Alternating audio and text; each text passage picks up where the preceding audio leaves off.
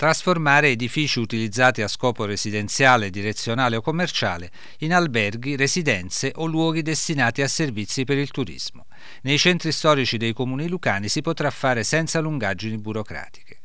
Grazie a una norma approvata dal Consiglio regionale nel disegno di legge collegato alla legge di stabilità regionale per il 2016, sarà possibile il mutamento di destinazione d'uso senza ricorrere alle procedure di variante e agli strumenti urbanistici vigenti.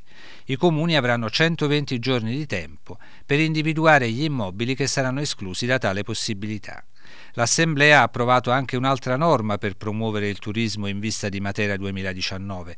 I gestori dei lidi balneari non saranno costretti a smontare le strutture mobili e potranno così allungare la stagione balneare. Le autorizzazioni per le opere temporanee e stagionali, come chioschi e lidi balneari, così come proposto dal consigliere Polese, potranno essere reiterate per cinque anni.